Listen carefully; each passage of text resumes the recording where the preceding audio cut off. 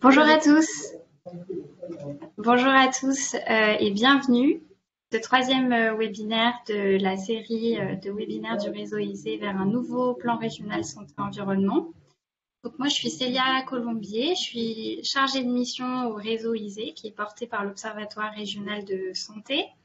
C'est un réseau qui rassemble les acteurs franciliens qui travaillent sur les enjeux de santé-environnement, soit parce que leur cœur de métier, soit parce qu'ils ont développé des bonnes pratiques pour réduire l'exposition dans leur activité professionnelle ou en tant que collectivité, comme on va le voir aujourd'hui.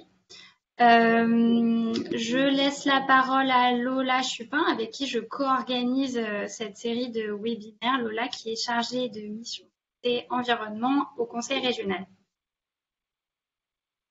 Bonjour à tous. Euh, donc encore une fois, bienvenue à, à ce troisième webinaire. Donc pour me présenter brièvement, comme Célia vient de le dire, je travaille au Conseil régional d'Île-de-France.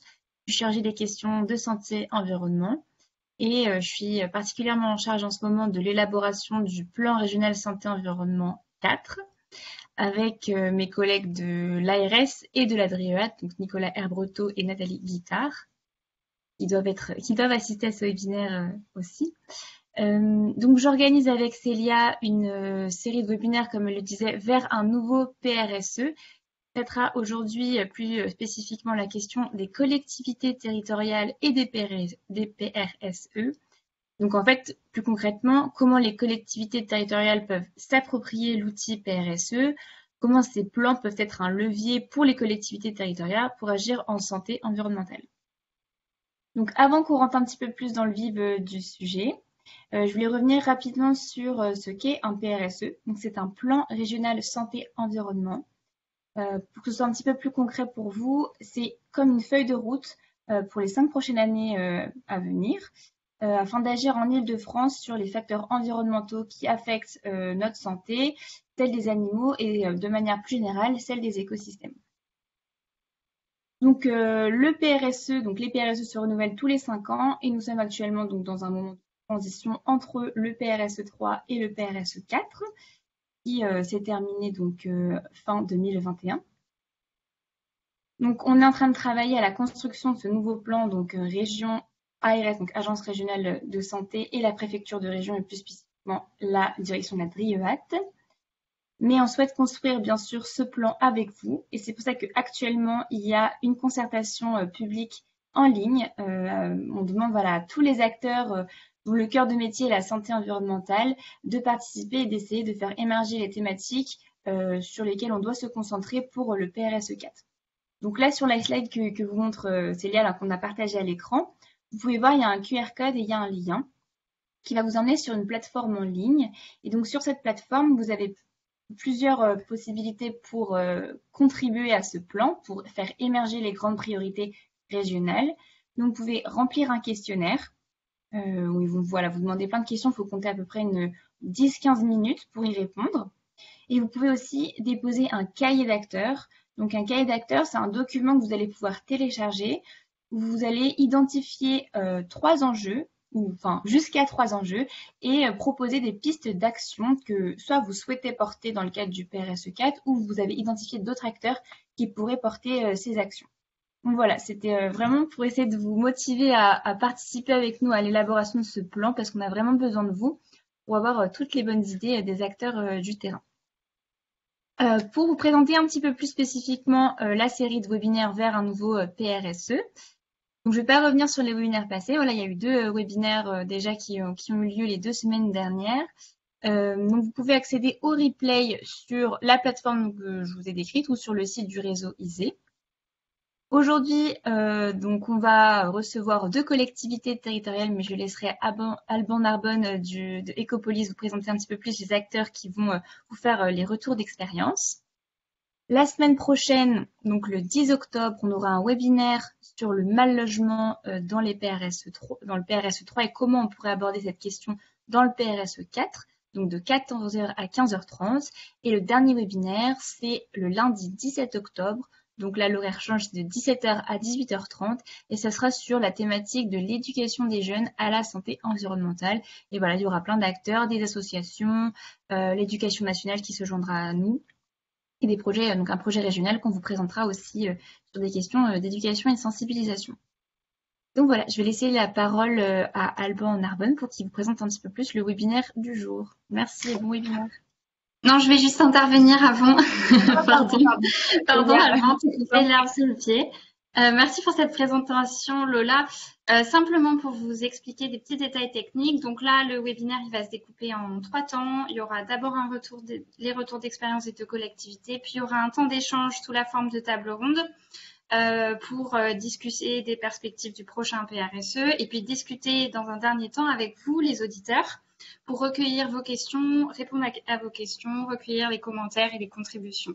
Donc simplement pour participer, euh, vous avez deux choses, le chat, donc qui est la petite bulle euh, qui doit se situer à droite de votre écran pour les commentaires, le partage de ressources. Et puis vous avez l'icône Q&A, toujours à droite mais plus bas normalement, pour les questions. Donc quand vous avez une question à poser, c'est à cet endroit-là. Et ensuite, Alban Narbonne la relaiera euh, aux intervenants au cours des temps d'échange. Donc simplement, euh, pour vous présenter un peu à Alban, à qui on a demandé d'animer euh, cet échange, il est chargé de mission santé urbanisme euh, chez Ecopolis. Alors Ecopolis est une association qui est centre de ressources pour l'aménagement et la construction durable en Ile-de-France. Et Alban tout particulièrement a suivi de près l'appel à manifestation d'intérêt qui va vous être présenté. Donc c'est la raison aussi pour laquelle on lui a demandé d'intervenir et je le remercie à nouveau d'avoir accepté. C'est bon, Albon, je te laisse la parole. Merci beaucoup euh, Célia, merci Lola et aussi pour l'introduction. Euh, bonjour à toutes et tous, merci d'être euh, présents avec nous aujourd'hui. Alors, je vais juste demander un tout petit instant pour partager mon écran et je reviens à vous. Célia, est-ce que tu peux me confirmer si ça fonctionne correctement? C'est parfait. On n'a pas encore le plein écran. Hop, là normalement, vous avez le plein écran. Ouais, c'est parfait. Et si je passe, ça passe. Ok. Euh... Si passe, attends, essaye de, passer. Ouais, c'est bon. Super. Euh, du coup, comme je vous disais, bah, merci pour, pour ces mots d'introduction. Merci à toutes et tous d'être présents aujourd'hui pour, euh, ce webinaire. Alors simplement, même si Célia l'a fait, je vous redis quand même quelques mots, quelques infos sur, euh, Ecopolis, la structure dont je fais partie. Donc on est une association loi 1901, pôle de ressources pour l'aménagement et la construction durable en, Ile-de-France. Euh, nos missions euh, s'articulent autour de quatre grands axes que vous voyez là actuellement à l'écran. On fait bien sûr en tant que centre de ressources de l'information et de la formation. On a aussi un rôle d'animateur de réseau, alors euh, sur tout un tas de thématiques en lien avec l'aménagement et la construction durable, et puis plus spécifiquement sur l'urbanisme favorable à la santé. J'en profite d'ailleurs euh, pour faire un peu d'autopromotion puisque le 20 octobre prochain, on organise une formation sur la thématique de l'intégration des enjeux de santé euh, euh, dans les projets urbains. Et le 26 octobre, on organise bah, notamment avec nos partenaires, l'ARS, l'ADEME, l'ADRIEAT et la MGP, la quatrième journée régionale urbanisme et santé en Ile-de-France à la Maison de l'Architecture en Paris. donc voilà, donc je pense que Célia va peut-être pouvoir vous mettre ces informations dans le chat si vous êtes intéressés. Et puis dernier volet aussi des actions d'Ecopolis, on fait aussi de l'accompagnement euh, avec nos démarches quartier et bâtiments durables franciliens, et puis aussi de manière un peu plus ponctuelle et spécifique sur les enjeux d'urbanisme favorable à la santé. Donc voilà, si vous souhaitez euh, vous engager dans, des démarches de ce type, n'hésitez surtout pas à me, contacter, qu'on puisse discuter ensemble de, vos projets. Euh, quelques mots justement sur, ce programme d'action qu'on a sur, sur les liens entre urbanisme et santé, et aménagement du territoire et santé. Comme je vous le disais, on, est soutenu dans cette action par, euh, les services de l'État, la DRIEAT, on est aussi soutenu par l'ADEME Île-de-France et la RS Île-de-France, ainsi que la métropole du Grand Paris. Euh, notre objectif, c'est de sensibiliser aux enjeux de l'urbanisme favorable à la santé, que ce soit au travers euh, d'événements, de séminaires, de formations, d'un ensemble de publications thématiques. Et puis, comme je le disais juste avant, aussi de l'accompagnement sur mesure dans vos projets. Pourquoi est-ce que pourquoi est-ce que ce lien entre urbanisme et santé, spontanément, on, peut se poser la question. Euh, on part d'un constat, c'est qu'aménager, réhabiliter, construire, c'est agir sur le cadre de vie, l'environnement et donc la santé des populations. On en arrive donc à la conclusion que les urbanistes, les aménageurs, les architectes, tous les acteurs de la fabrique de la ville ont un rôle à jouer pour agir de manière positive sur euh, sur la santé des populations. Et nous, Ecopolis, ben, on, se positionne, euh, on se positionne sur ces enjeux pour sensibiliser, former et accompagner le changement de, pratique des professionnels. Euh, pour, euh, développer ce programme d'action, on, se place dans un cadre conceptuel qui est l'urbanisme favorable à la santé. Alors je ne vais pas en faire trop sur les définitions et sur les concepts, mais simplement l'idée c'est de se dire que on a des aménagements qui peuvent permettre de promouvoir la santé et le bien-être des habitants en agissant sur tout un ensemble de déterminants de santé à plusieurs niveaux, à plusieurs échelles. Et donc, euh, ben, on a un rôle à jouer à ce niveau-là. Et euh, ce concept d'urbanisme favorable à la santé nous offre une prise, une manière de penser euh, les enjeux de santé au sein de l'aménagement et de la, construction. Et l'idée, c'est peut-être de se dire que la santé peut être un fil rouge, un outil de mise en cohérence d'un ensemble de politiques publiques, plus spécifiquement dans l'aménagement et la planification, mais également au-delà.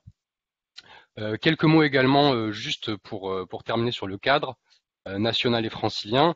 Il faut, faut, bien se rendre compte qu'on a, on a, dans une certaine mesure, une certaine apathie du cadre réglementaire sur ces enjeux, en tout cas les enjeux de croisée de, de santé d'aménagement. face à ça, on a, on a quand même ben, des plans nationaux et régionaux qui, qui, ont été mis en place. Le fameux PRSE, PRSE 3 qui vient de se terminer en Ile-de-France, on va, on va donc passer sur le PRSE 4, qui, qui bien sûr est en accord avec le plan national santé-environnement. Euh, de manière un peu plus ponctuelle, on a aussi euh, euh, une sollicitation des ARS qui s'est fait il y a quelques années, notamment dans le cadre de, l'évaluation environnementale du volet de l'évaluation sanitaire dans, les procédures d'évaluation environnementale. Donc voilà ce sujet qui s'est un peu imposé de fait comme un sujet à traiter. de nouveaux outils qui ont émergé. Alors, on a des études d'impact en santé, des démarches d'urbanisme favorables à la santé, un certain nombre d'autres démarches aussi, des études, des référentiels, et puis surtout de nombreuses expérimentations, de nombreux projets qui visent à, croiser ces thématiques. Et c'est un peu justement l'objet du, séminaire du jour, c'est de vous présenter un peu ces retours d'expérience. Au sein du PRSE qui vous a été présenté juste avant, il y a notamment deux actions sur lesquelles euh, il nous semblait intéressant de, faire un peu un focus. Euh, donc il y a l'AMICEAD, donc la MICAD, ça veut dire santé, environnement, aménagement durable. Il y a eu deux éditions de cette AMI, la première en 2016 et la seconde en 2019. Euh, donc c'est une démarche qui est coportée et copilotée par la RS Île-de-France et, et l'ADEME Île-de-France et qui vise à accompagner et sensibiliser des porteurs de projets dans la prise en compte de la santé euh, par des démarches exemplaires de, construction, de construction de, de projets urbains ou territoriaux avec voilà l'ambition d'acculturer les porteurs de projets à l'intégration des enjeux de santé, expérimenter des nouvelles démarches de, conception urbaine et de programmation urbaine, euh, développer des modes de, concertation innovantes et puis développer plus largement euh, à la constitution d'une communauté francilienne experte euh, et, compétente sur les enjeux de santé, environnement et aménagement. il y a eu cinq lauréats de cet appel à projet en, en 2016, 13 en 2019. On aura le plaisir d'avoir aujourd'hui un des lauréats de la, de la seconde édition qui viendra nous faire nous faire un retour d'expérience de cette AMI. Et puis l'autre projet euh, sur le qu'on voulait qu'on voulait présenter aujourd'hui, donc c'est un AAP pour le coup, donc un appel à projet, prévention des risques environnementaux chez la femme enceinte et le jeune enfant. Euh, L'objet de cet AAP, c'était de financer un ensemble d'actions, euh, que ce soit des actions à destination des professionnels de santé de la petite enfance qui interviennent auprès des femmes enceintes et des jeunes enfants, bien des directions d'établissements, des élus, des collectivités territoriales, des services qui sont impliqués dans les choix de construction, d'équipement, de matériel, restauration, produits d'entretien de toutes les structures qui peuvent accueillir des femmes enceintes et des, jeunes enfants. pardon. Et puis là, on aura aussi un retour d'expérience d'Evry Courcouronne sur, euh, sur cet AAP. Euh, deux, trois mots avant de vous présenter nos intervenants sur, sur l'enjeu de ce webinaire, même s'il a été rappelé, rappelé en amont. L'idée, c'est de, de vous transmettre ce message, c'est que l'intégration de la santé dans des documents, comme par exemple des documents d'urbanisme, euh, n'est pas une, obligation réglementaire, en fait c'est le fait d'expérimentation et les PRSE sont des outils, des leviers intéressants justement pour pouvoir accompagner ces démarches et intégrer au mieux ces enjeux de santé. Euh, et donc c'est pour ça qu'on a sélectionné ces deux retours d'expérience aujourd'hui, pour vous montrer d'une part que vous avez des leviers pour agir sur les enjeux de santé environnementale, et d'autre part comment est-ce que le PRSE peut vous aider justement à, vous saisir de ces enjeux et puis à, faire un effet levier euh, pour, pouvoir porter vos actions qui, vont dans ce champ-là. Euh, voilà pour, euh, voilà pour l'objet de ce webinaire. Je voulais vous présenter maintenant rapidement nos intervenants avant de leur laisser la parole. Euh, donc, comme je vous le disais, on aura d'abord un lauréat de la MICA, donc la communauté d'agglomération de Cergy-Pontoise, avec Christine Catarino, qui est conseillère communautaire de la communauté d'agglo de Cergy-Pontoise et missionnée en santé environnementale. Marc Denis, qui est vice-président de la communauté d'agglomération et délégué à la transition écologique et énergétique et Morgane Roland, qui est chargée de projet territoire durable euh, chez Visea.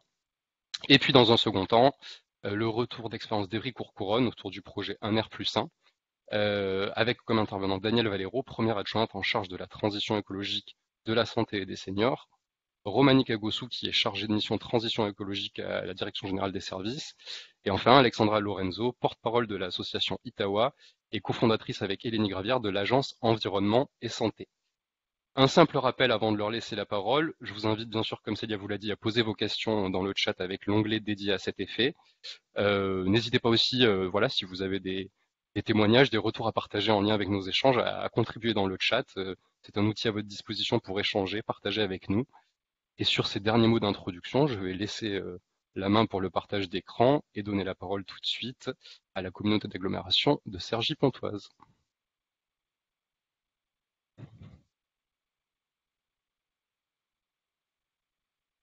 Oui, bonjour à, tout le monde.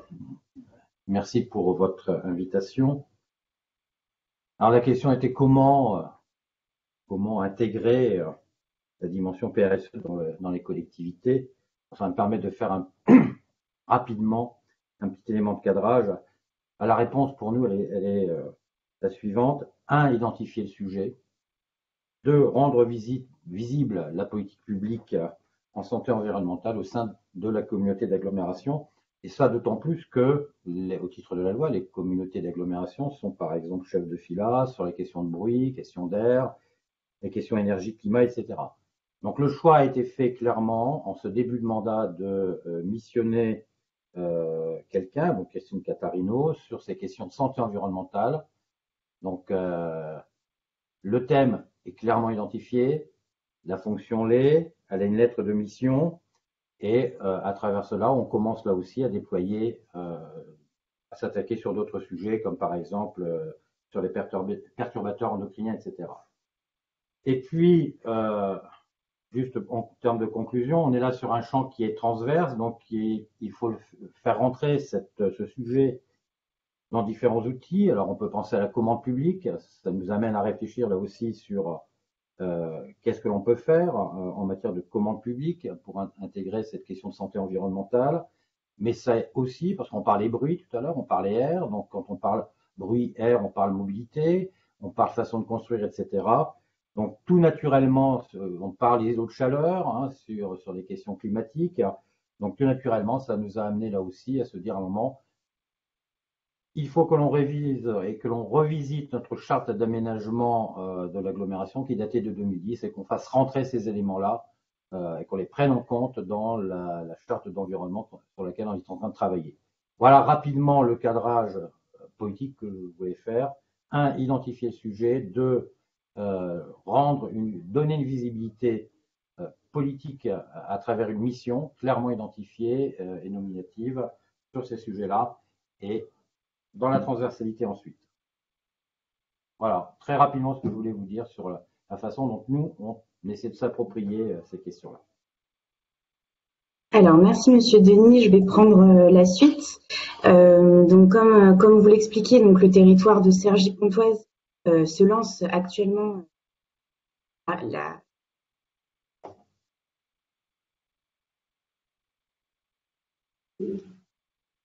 On a un problème de son, euh, Morgane. On t'entend, enfin en tout cas pour ma part. Oui, je n'entends également pas. Oui, on a perdu le son.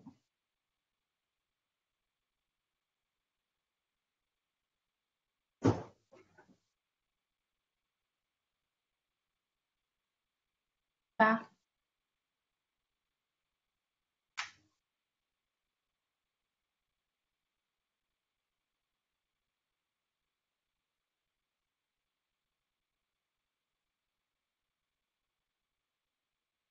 Peux peut-être changer ton périphérique, euh, ton micro avec le rouage en bas à droite.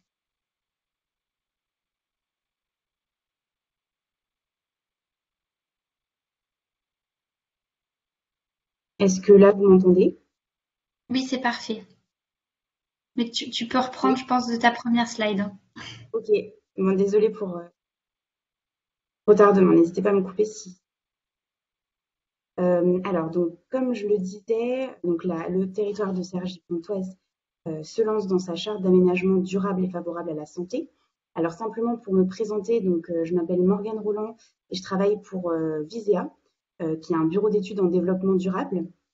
donc on intervient à plusieurs échelles de la ville durable. Moi, j'interviens sur les, questions d'urbanisme et de territoire, mais j'ai aussi des collègues qui sont experts de la construction durable, de la mobilité durable, de la transition environnementale des entreprises. Et tout ça avec une approche transversale autour des enjeux de santé environnementale. Et donc, on a été missionné par, par le territoire de Cergy-Pontoise pour les accompagner dans cette, de ce projet de charte d'aménagement durable et favorable à la santé. Alors, pour vous expliquer un peu euh, cette démarche, c'est une démarche qui est élaborée en trois temps. Euh, on a eu un premier temps euh, assez important l'année dernière d'analyse de l'existant. Donc là, on a réalisé un diagnostic de santé environnement du territoire multithématique que je vous présenterai très rapidement juste après. Et puis, on est venu évaluer la charte de 2010. Donc, comme M. Denis l'expliquait, le territoire avait, s'était déjà doté d'une charte en 2010 qui avait pas forcément très bien fonctionné. Donc euh, l'objectif, c'était aussi de capitaliser sur ce retour d'expérience pour comprendre ce qui n'avait pas forcément marché et euh, apprendre euh, de ce retour d'expérience. Ensuite, après cette phase de, diagnostic, on a, là, on est en train actuellement de travailler sur une phase de proposition d'amélioration. Donc l'idée, c'est, en capitalisant sur le diagnostic qu'on a fait, de venir proposer une nouvelle structuration de la charte où on vient du coup incorporer tous les éléments, tous les enjeux de santé environnementale. Euh, donc c'est une phase qui a été euh, très intéressante parce qu'on a fait beaucoup de concertations. Donc on a fait des ateliers avec euh, différents acteurs du territoire qui nous permettent là d'arriver très bientôt à une nouvelle structuration de la charte assez solide. Et puis on va commencer très prochainement la phase 3 d'actualisation de la charte en elle-même, où on va venir tout simplement rédiger cette nouvelle charte. À noter également qu'on a une mission complémentaire révision des CCCT, donc les cahiers des charges de cession de terrain, euh, donc pour ceux qui ne sont pas très familiers de, ce document, c'est un document contractuel euh, entre euh, la, collectivité et les aménageurs lors des, projets de ZAC et de PUP, ce genre de choses. Donc l'objectif là, c'est que la charte, qui n'est pas un document réglementaire, infuse les CCCT, qui eux sont des documents contractuels, pour que les ambitions de la collectivité en termes de santé et environnement s'imposent aux aménageurs et aux promoteurs.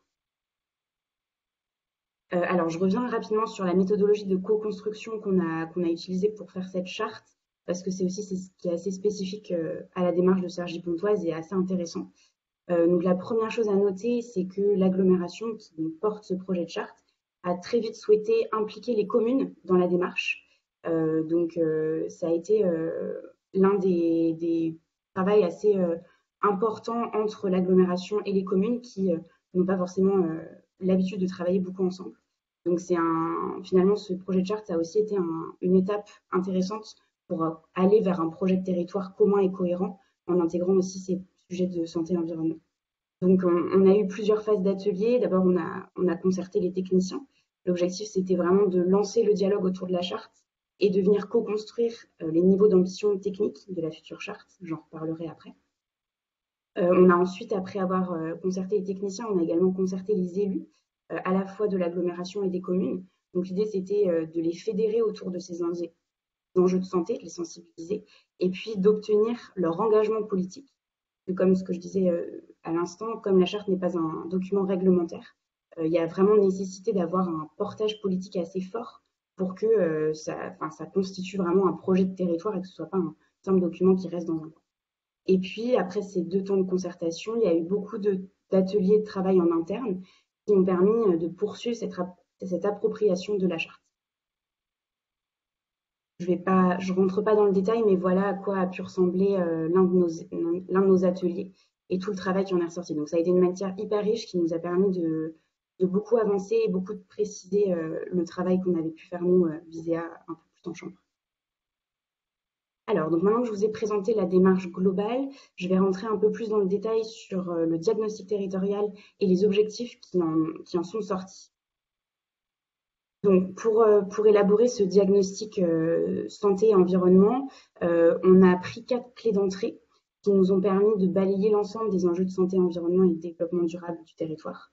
Donc d'abord, on s'est intéressé au contexte socio-démographique et à l'état de santé sur le territoire. Euh, en regardant euh, des données comme euh, la démographie, la densité, etc., les pathologies, les pratiques addictives, etc. Ensuite, on s'est intéressé à l'environnement macroscopique et écosystémique en regardant tout ce qui était pollution, risque, nuisance, donc état de l'eau, de l'air, du bruit, etc.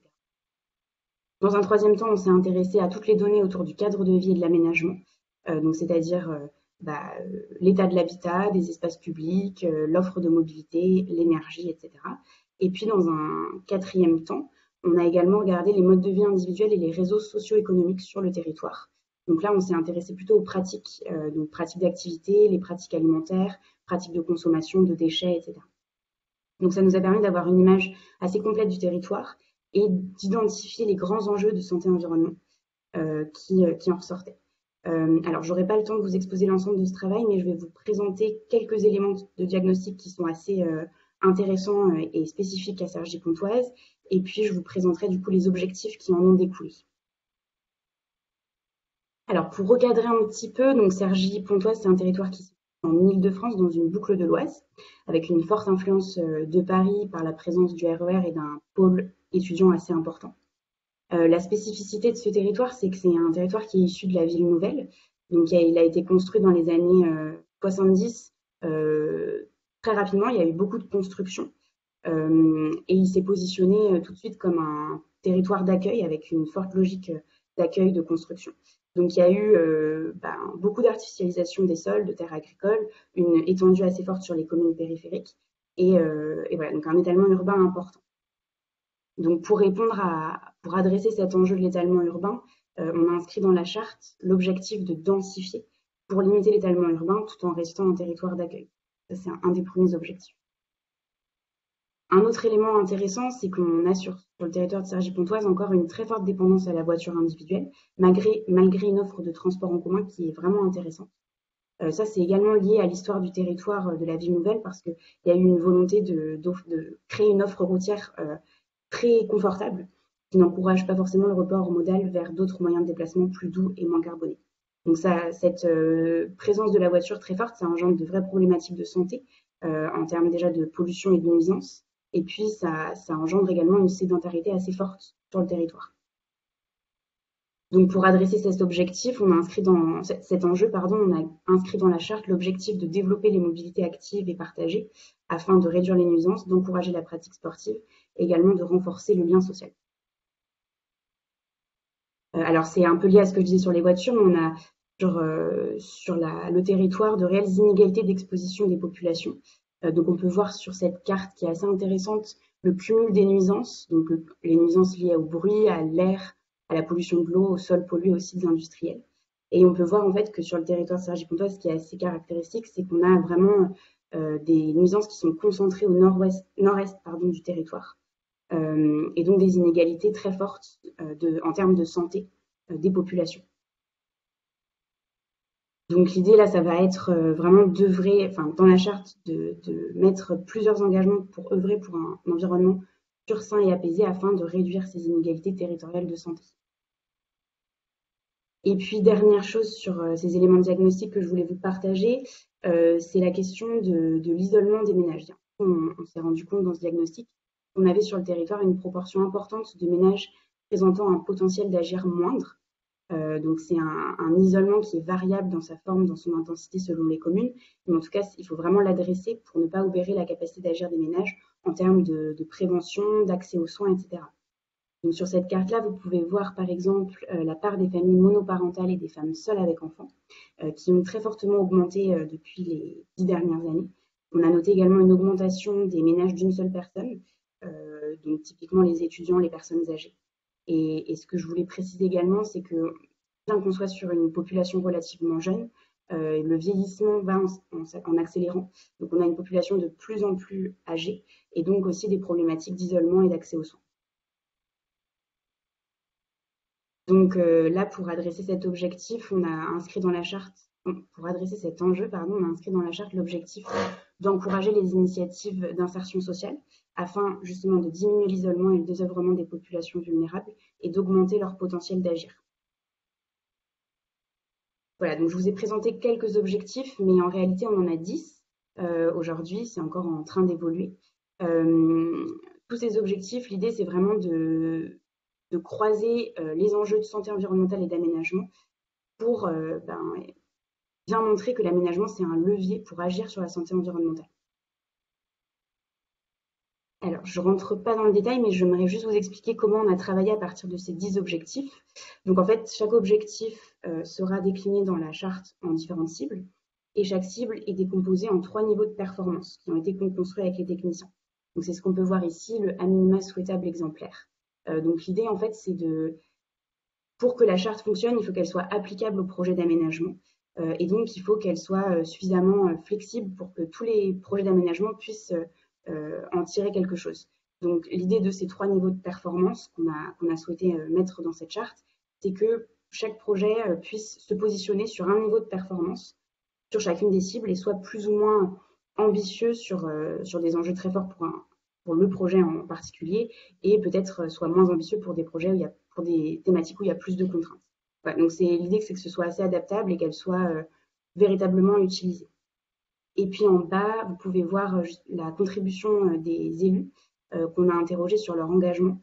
Donc l'idée c'était de comprendre avec les élus si cette thématique n'était soit pas une priorité, soit une thématique sur laquelle ils étaient déjà suffisamment engagés, ou alors une thématique sur laquelle justement il fallait s'engager davantage. Et ça, ça va nous permettre, on est encore en train de faire ce travail, mais de venir prioriser euh, les différents objectifs. Voilà, alors je suis allée assez vite, j'espère que c'était clair. Euh, en parallèle de ce travail de diagnostic et de définition d'objectifs, on s'est également beaucoup interrogé avec euh, Sergi Pontoise la structuration et l'ambition de cette charte.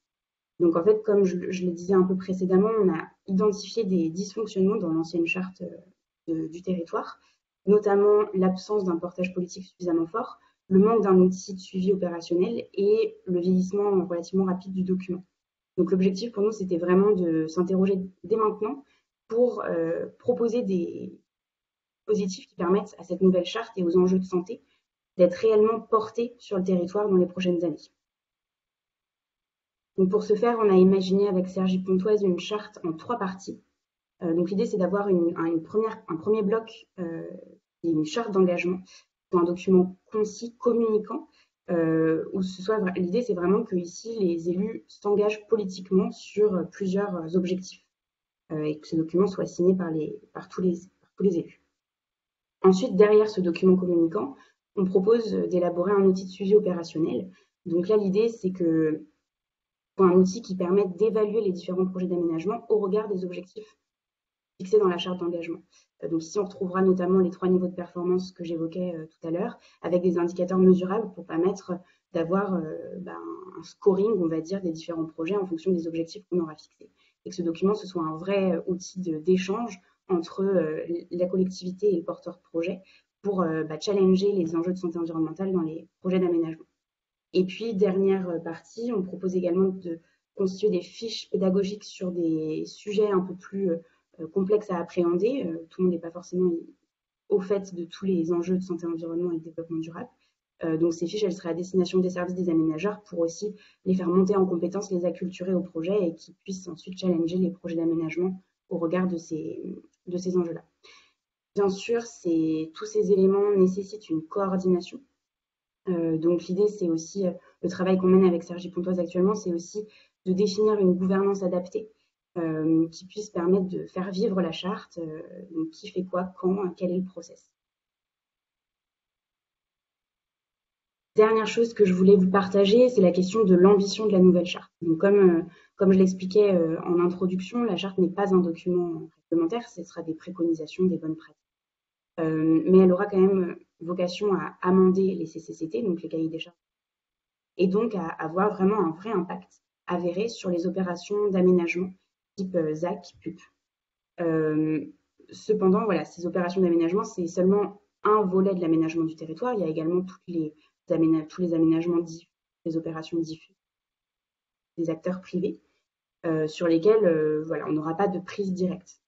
Donc, l'idée, c'est que cette charte d'aménagement, elle soit portée politiquement et qu'elle soit un, vrai support d'échange, une source d'inspiration pour intégrer des, éléments d'urbanisme favorable à la santé dans les documents réglementaires qui réglementent aussi les opérations privées, donc type SCOT, les PLU qui sont en, cours, peut-être un futur PLU. donc voilà, donc la dernière chose que je voulais, dire, voilà, c'est que un document type charte, il a vraiment besoin d'un portage politique important. Et euh, je vais euh, laisser euh, Madame Catarino conclure sur, cette, ce projet. Merci à vous.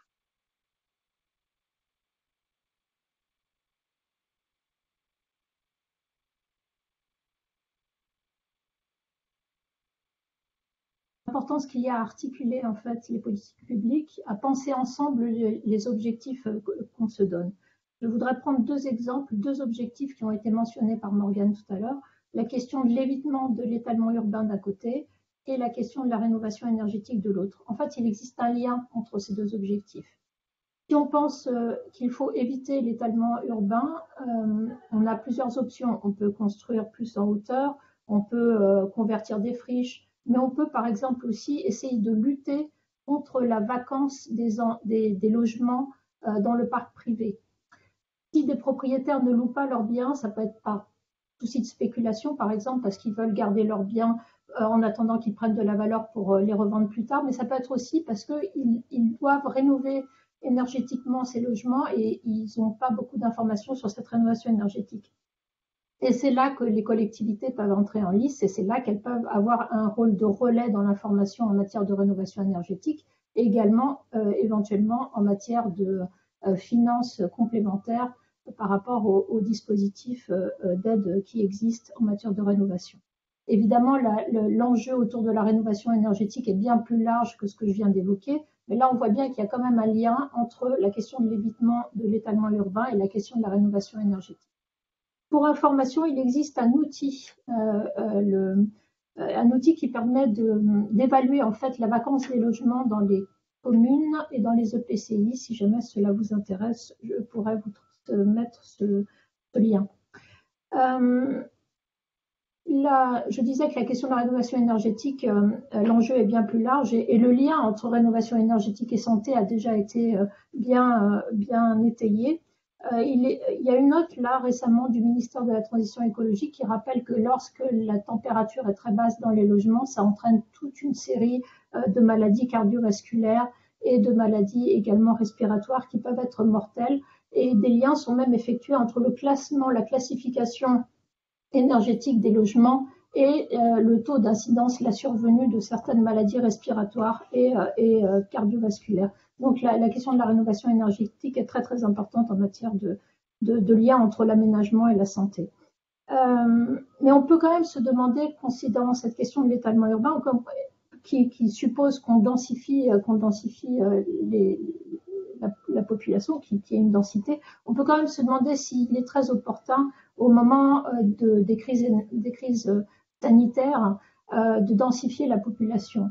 Et là, c'est peut-être peut-être une piste hein, pour le prochain PRSE en termes d'impulsion de, recherche que d'étudier le lien qui existe entre densité et santé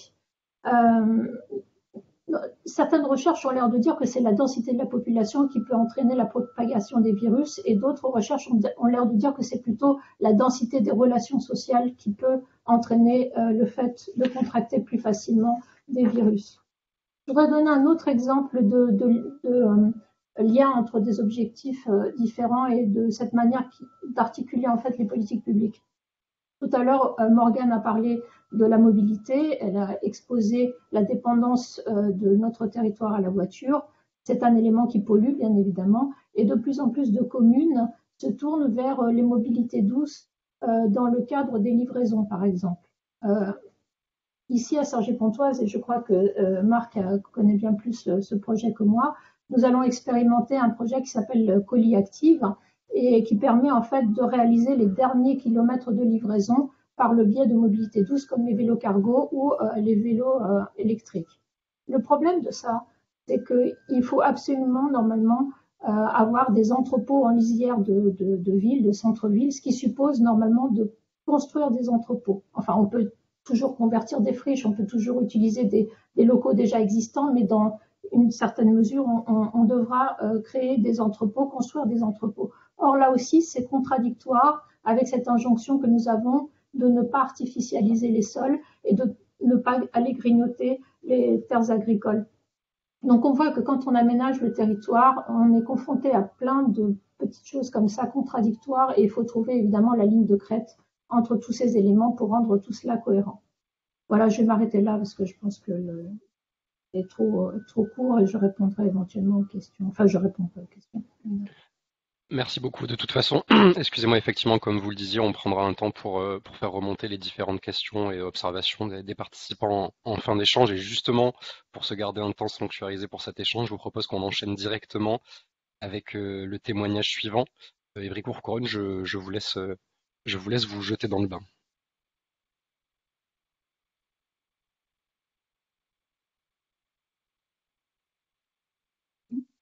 C'est Alexandra qui commence, non?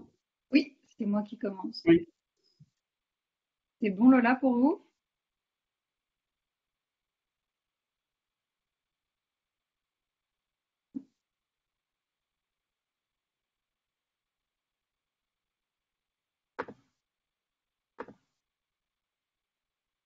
Est-ce que c'est bon pour vous? Vous voyez bien l'écran? Oui, alors je pense qu'il faut le mettre en lecture. Euh, Lola. Le petit sablier en bas, à droite. Ouais, je suis en plein écran. Non, encore à droite, voilà ça, là. Ouais, sur mon écran, c'est en plein écran, c'est pour ça que je. Ah,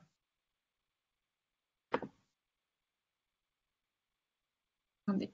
Hop. Ça marche comme ça? Là pour l'instant. Ça va peut-être mettre un petit peu de temps à revenir.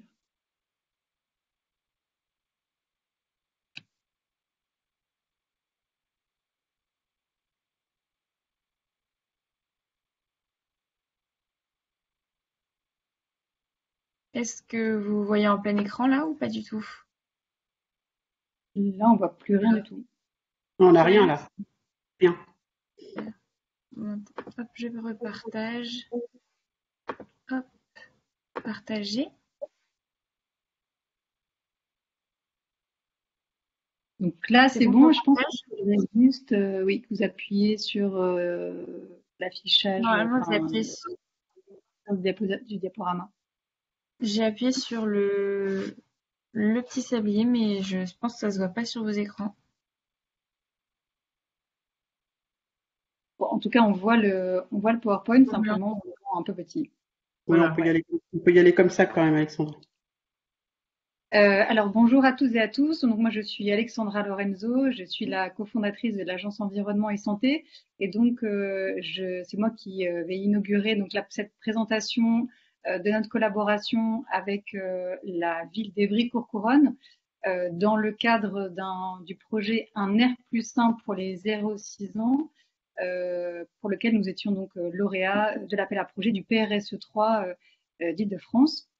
Alors pourquoi, euh, suivant Lola, euh, pourquoi avoir euh, travaillé sur la question de la qualité de l'air intérieur? Parce qu'on on s'est aperçu euh, dans notre travail du quotidien que euh, une grande partie des gestionnaires, euh, soit euh, publics ou privés d'établissements, euh, méconnaissaient ou voire ne connaissaient pas euh, la, réglementation sur la qualité de l'air intérieur. Euh, très rapidement, du coup, on, s'est penché sur cette question. Donc, le décret qualité de l'air intérieur de 2015 prévoyait différentes entrées en vigueur sur cette réglementation. Les établissements d'accueil de jeunes enfants sont donc soumis à cette réglementation depuis le 1er janvier 2018. Depuis le 1er janvier 2020, ce sont les centres de loisirs, les collèges et les lycées. Et à partir du 1er janvier 2023, ce sera une grande majorité des établissements qui, euh, qui reçoivent du public, avec donc une surveillance de trois polluants qui sont le formaldéhyde, le benzène et le dioxyde de carbone. Euh, suivant, Lola. Alors cette réglementation, euh, Lola, le suivant s'il vous plaît.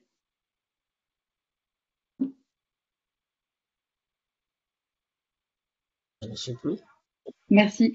Euh, donc, qu'est-ce qu'elle prévoit cette réglementation? D'une part, euh, l'évaluation des moyens d'aération dans différentes pièces d'établissement consiste globalement à vérifier euh, les ouvrants et leur état de fonctionnement. Puis, il y a deux options qui, s'offrent, soit la campagne de mesure de polluants, qui est la, la, mesure la plus connue et la plus utilisée, qui est valable pendant sept ans et qui consiste en la, le dépôt de, euh, de capteurs pour pouvoir euh, recueillir la présence ou pas de, des polluants euh, concernés par la réglementation. Et l'autre option qui est beaucoup moins connue, c'est l'autodiagnostic, qui, alors la, campagne de mesure de polluants est forcément réalisée par un laboratoire extérieur certifié COFRAC et elle représente un coût important. L'autodiagnostic, en revanche, peut être réalisé en interne et il nous semble que cette, option-là est bien plus intéressante puisqu'elle permet euh, d'internaliser en fait la question de, l'air intérieur. Euh, slide suivant, euh, Lola, s'il vous plaît. Et donc, on a fait le choix en fait de travailler vraiment sur cet autodiagnostic et on a bien vu donc la publication en début d'année, en janvier 2022, du dernier PNSE, le PNSE 4, qui parlait notamment de l'évolution prévue de la réglementation de la qualité de l'air intérieur. On voit que euh, cet intérêt pour les autodiagnostics a été souligné euh, avec probablement donc un dispositif qui devrait alors qui devait voir le jour en 2020, enfin, qui, devrait euh, pas tarder à, arriver dans, l'année prochaine probablement pour inciter de plus en plus les gestionnaires d'établissements à aller vers cet autodiagnostic qui permet donc cette appropriation de la thématique qualité de l'air intérieur. Alors pour entrer plus, euh, slide suivant, Lola, pour entrer plus particulièrement dans le projet Un air plus sain, l'idée était donc euh, de pouvoir proposer euh, à une ville pilote, euh, notamment la ville d'Evry-Courcouronne, de devenir autonome sur cette gestion de euh, la surveillance de la qualité de l'air intérieur de ces bâtiments, avec d'abord un choix stratégique de travailler spécifiquement sur les établissements d'accueil de jeunes enfants, donc les crèches, les écoles maternelles, etc., puisque ce sont des populations vulnérables hein, qui se trouvent dans leurs mille jours notamment, et euh, qui sont euh, pour lesquelles du coup on va avoir un niveau d'exigence qui sera bien plus élevé. Et alors le mode opératoire du projet, c'était de commencer par une phase de sensibilisation euh, des équipes évidemment sur les enjeux de santé environnementale et puis les obligations réglementaires aussi, pour ensuite réaliser des audits de qualité de l'air intérieur, donc qui étaient réalisés par l'Agence environnement et santé qui est partenaire de l'association Etawa sur ce projet, euh, en collaboration avec des chargés de projet euh, au sein de la ville, avec ensuite une phase de, formation et de transmission de cette méthodologie, avec la réalisation d'audits en autonomie par les chargés de projet de la ville d'Evry-Couronne, pour ensuite, euh, finalement, à la fin du projet, euh, aboutir à ce que la ville puisse, de façon autonome, poursuivre euh, ces diagnostics et sa surveillance sur le long terme, notamment de ces établissements d'accueil de jeunes enfants, mais ensuite évidemment sur l'ensemble de ces, de ces ERP, puisqu'on a vu que euh, le niveau d'exigence était plus élevé sur les lieux d'accueil de jeunes enfants. Lola, s'il vous plaît, le slide suivant. Très rapidement sur, cet audit Mon Air, Ma Santé, donc il répondait à la fois à la réglementation évidemment, mais en allant aussi plus loin, puisqu'on a profité de cette occasion pour vraiment travailler sur la question de la qualité de l'air intérieur, qui est un sujet central, euh, notamment au sein des collectivités, et qui peut être abordé sous plein d'angles euh, différents, euh, même si la, voilà, la période Covid et puis l'arrivée de, dans beaucoup d'endroits de capteurs de CO2 a fait un petit peu parler plus de la qualité de l'air intérieur, mais en tout cas, on sait que c'est un vrai, sujet de santé publique sur lequel on peut énormément travailler, sur lequel les collectivités peuvent travailler. Euh, et donc voilà, cette réglementation finalement, et appuyer cette réglementation, c'est aussi faire entrer un peu plus la question de, de l'air intérieur euh, au niveau des collectivités pour leur donner la possibilité de travailler ensuite à la fois sur des questions euh, bâtimentaires, de rénovation, de choix de matériaux et de mobilier, mais aussi sur les questions d'entretien et des produits d'entretien qui sont utilisés, les systèmes de ventilation, etc., qui vont être mis en place ou qui pas. Voilà, donc ça ouvre une porte, euh, différentes portes euh, et une possibilité de travail. Et donc pour revenir à l'audit Mon air, ma santé, et constituer donc une analyse fine des potentielles sources de pollution euh, qu'il peut y avoir dans chaque bâtiment, avec ensuite un plan d'action ciblé qui vise directement à réduire les émissions de polluants qui ont été relevées. Donc en tout, sept thématiques avec plus de 200 points qui sont investigués, et puis un livrable final, donc ce rapport d'audit, euh, qui répond à la fois aux questions de l'autodiagnostic réglementaire, mais qui fait aussi, euh, indique également ce, rapport d'évaluation des moyens d'aération euh, dont je parlais au tout début et qui fait également partie de l'obligation réglementaire. Et puis les conclusions des investigations et évidemment une proposition de plan d'action hiérarchisé à plus ou moins long terme. Et puis évidemment, la méthodologie de réalisation de ces audits qui est transmise aux chargés de projet afin qu'ils puissent la mettre en place par la suite au sein de la ville. Lola, la slide suivante. Merci. Euh, donc les ateliers de sensibilisation très rapidement, hein, des ateliers vraiment participatifs auxquels on, fait participer euh, les euh, différents services, les personnes qui travaillent sur le terrain et notamment au niveau de la petite enfance. C'est une façon supplémentaire pour travailler sur la question de la qualité de l'air intérieur. Et puis la slide suivante, Lola, très rapidement du coup sur les, les porteurs de, projets et les partenaires du projet Un air plus sain. Donc à la fois l'association Itawa qui est basée en Ile-de-France mais qui a aussi ouvert récemment euh, une nouvelle antenne en, région Centre-Val de Loire et qui a travaillé depuis plusieurs années, notamment avec l'ARS, euh, sur euh, des questions de santé environnementale et notamment aussi avec le, le projet des nounous écolos qui était porté en 2019 et en 2020. Et puis l'agence environnement et santé euh, qui travaille au niveau national et donc avec une expertise euh, santé environnementale, qualité de l'air intérieur, chimie et euh, un focus particulier également sur la petite enfance et puis notamment l'accompagnement d'acteurs publics et privés dans tous ces aspects de la transition écologique avec ce, cette vision santé environnementale. Et Lola, du coup, vous pouvez passer la main pour la slide de Madame Valero qui va nous donner la, la vision de, de, portage politique de toutes ces actions au sein de, de la ville d'Evry-Courcouronne qui travaille énormément sur la question de la santé environnementale. Oui, bonjour, merci Alexandra, bonjour euh, tout le monde, toutes et tous. Euh, donc, pour me présenter très assez brièvement, moi je suis euh, la première adjointe de la ville d'Evry-Courcouronne. La ville d'Evry-Courcouronne, c'est la préfecture de l'Essonne, ville de 70 000 habitants. Beaucoup de similitudes. J'écoutais évidemment mes collègues de Sergi Pontoise. C'est exactement le même type de ville nouvelle construite dans les mêmes époques avec euh, les, à peu près les mêmes euh, sociologies et, problématiques. Euh, moi, je suis première adjointe et je suis en charge de la coordination de la transition écologique. On est cinq élus à se partager la transition écologique, ce qui est quand même un signe politique fort, y compris de mettre ça au niveau du, dans le tableau des adjoints, au niveau de la première adjointe. Euh, j'ai un collègue plus particulièrement qui suit des sujets d'énergie, de, de, de, de, réseau, une collègue sur euh, le tri sélectif, une collègue sur la biodiversité, un collègue sur les mobilités. Et, euh, et moi, comme j'ai aussi en charge la santé, évidemment, c'est moi qui gère la santé environnementale. pour ajouter à ça, je suis aussi en charge de la santé au niveau de l'agglomération Grand Paris Sud, Seine-et-Saône-Sénart, donc 23 communes à cheval Essonne, Seine-et-Marne et 400 000 habitants euh, en gros.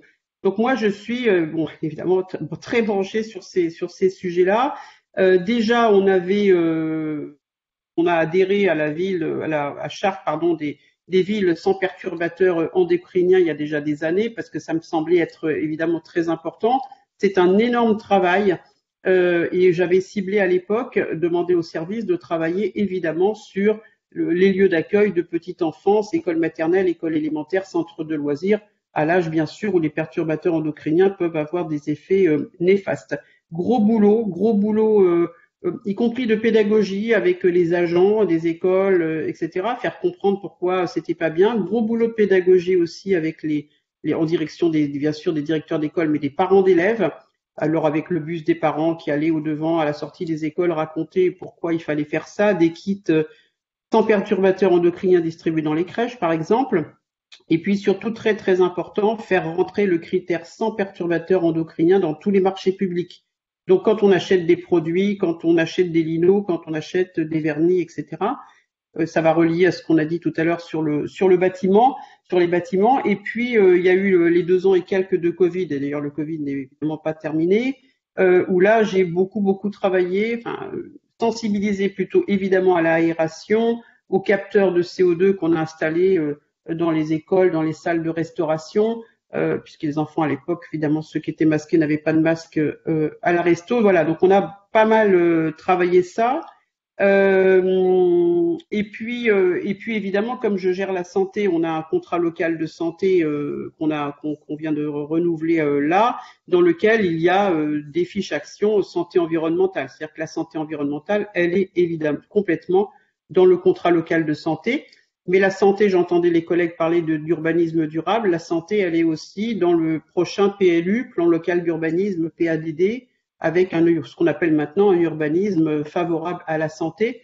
Juste pour dire que c'est, ça a beaucoup changé. Hein, les adjoints, les adjoints et les élus. D'abord, avant, il n'y avait pas d'adjoints à la santé, quasiment pas. Il y a, il y a, il y a 20 ans, moi, j'en connaissais pas beaucoup.